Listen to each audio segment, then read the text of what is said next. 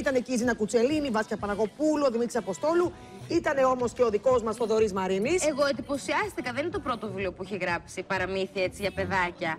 Ε, και είναι πολύ καλή. Ναι, έχει ωραία πένα. Δεν υπάρχει πένα της. Έχει και δύο κόρες. Σε ό,τι γράφει. Α, ναι, έχει δύο κορέ. Ναι, δεν το ναι. ήξερα αυτό. Ούτε εγώ. Όχι, δεν το ήξερα αυτό. Ούτε εγώ Πρώτη το φορά ήξερα ακούω. αυτό. Μπράβο. Λοιπόν, μιλάει για τη νέα μόδα του reality, αλλά και μιλάει και για τις γυναίκες που τους άρεσε τον Botox. Σχολιάζει με τον δικό της τρόπο. Μόνο γυναίκες; Τι είναι αυτό που σας εμπνέει έτσι να γράφετε; Για τη σωτηρία της ψυχής μου. Έχω ανάγκη την αφήγηση αυτή, πρώτα για μένα και μετά για την επικοινωνία μου με τα παιδιά μου, ε, ειδικά για το παραμύθι και με τους άλλους. Όταν γυρνάτε στο σπίτι, χαλαρώνετε, μπορεί γράφοντας, μπορεί βλέποντας τηλεόραση. Όχι, δεν βλέπω τηλεόραση. Για να σώσω την ψυχή μου θα δω τηλεόραση. Απα, πα, πα. Υπάρχουν πράγματα που είναι καλά. Ε, αυτό όμως που δεν μου αρέσει είναι η τάση για σκληρό reality που αρχίζει και επικρατεί πάλι στην ελληνική τηλεόραση, που θυμίζει ακριβώς αγώνες πείνας και Hunger Games, όπως το είδαμε στο σινεμά και το διαβάσαμε στο βιβλίο. Έχετε σκεφτεί, Αλεξάνδρα Τσόλικα, σε 10 χρόνια από τώρα, τι θα κάνει; Πολλά botox. θα παλεύω να μορφωθούν τα παιδιά μου και να γίνουν ε, ωραίοι άνθρωποι στον κόσμο. Είπατε για τα Botox. Πώς σας φαίνεται αυτό; Έχω αφαιθεί πολύ. Είχα πάρει πάρα πολλά κιλά, δεν πρόσεχα, δεν με ένοιαζε να βάψω μαλλί. Και είναι καλό όλη την τεχνολογία που έχει υπάρξει και στην ιατρική και παντού να την εκμεταλλευτεί. Τώρα, όταν είναι η άλλη σαν το Φαγιούμ, αναλύωτη στο πνεύμα του χρόνου, νεκρική μάσκα του Τανχαμών και δεν μπορείτε να γελάσει, που είναι όλες πρισμένε, θες να κάνεις έτσι να δεις, είναι σαν μπαλονάκι, να τους κάνει στο χέρι να δεις τι γίνεται, θα σκάσει άμα το πιέσω.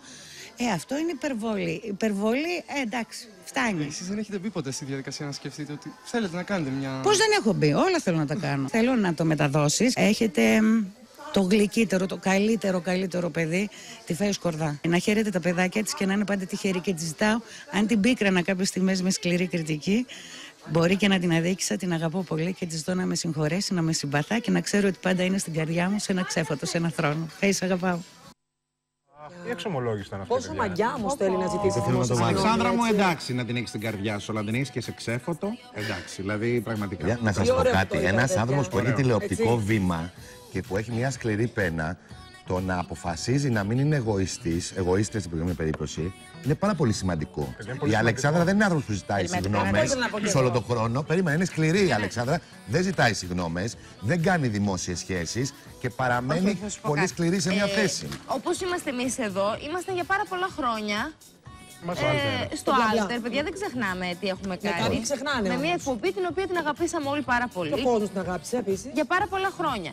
Και αλλήμον αν έχω εγώ παράπονο, γιατί μου έχει γράψει και πάρα πολύ ωραία πράγματα η Αλεξάνδρα. Εγώ κρατάω ότι.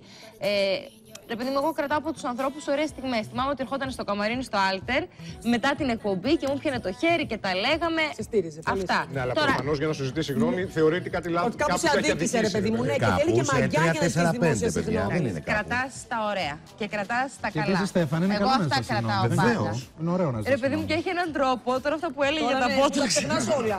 Ξέρεις τι γίνεται, επειδή εγώ με την Αλεξάνδρα έχω κάνει παρέα.